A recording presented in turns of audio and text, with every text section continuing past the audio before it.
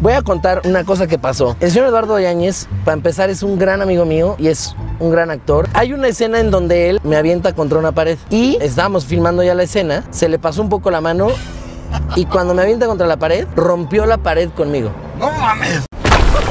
¡Por Dios, tengo miedo!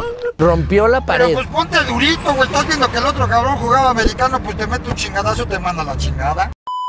Y ahí te va otra. Estábamos haciendo otra escena Ajá. y no estaba montada una cachetada. Y agarra él y en plena filmación, mocos, me da un cachetado. ¿Por qué? Sí lo ameritaba la escena, pero no lo habíamos montado así. Y de repente cuando me da el cachetado, yo para mí fue así de, espérate, güey, ¿qué, qué pasó?